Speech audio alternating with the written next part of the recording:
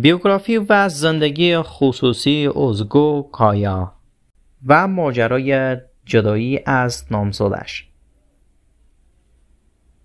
اوزگو کایا بازیگر ترک زیبا در سال 1374 در استانبول به دنیا آمده است.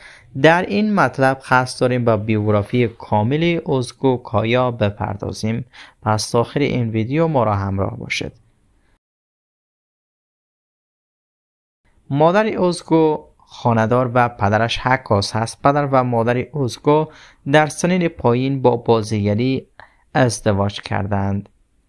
اوزگو فارغ تحصیل رشته موسیقی است او در شهری اوشاک به دنیا آمده است و پس از گذراندن تحصیلات دبیرستان در این شهر با قبولی در دانشگاه استانبول به این شهر مهاجرت کرده و در حال حاضر ساکن استانبول هم می باشد اوزگو همزمان با تحصیل در رشته موسیقی به کلاس های بازیگری نیز شرکت کرده است. او همچنین در کلاس های تانگو نیز حاضر می شد و بر رقص گیتار و استانبول گردی نیز حلاقه های زیاده دارد.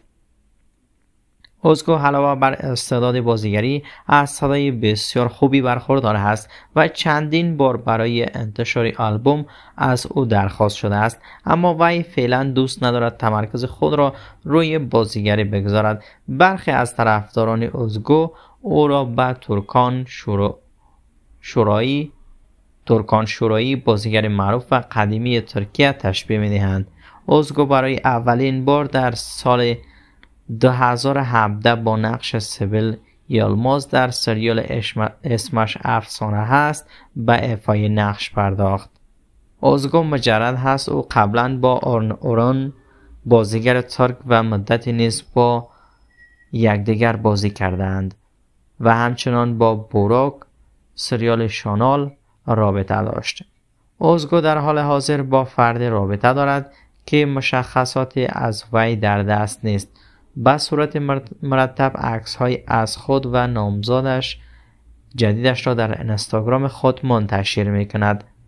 اوزگر در شبکه های اجتماعی بخصوص در اینستاگرام فعال هست و عکس های زیبا از خود منتشر می کند. او در حال حاضر در اینستاگرام به دو یک میلیون دنبال کننده می رسد. او در سریال های هیچ کس نمی‌داند نقش بازی کرده است و همچنان در سریال عشق سابق من در نقش یوسون و در سریال سه خواهر در نقش ترکان نیز فعالیت کرده است.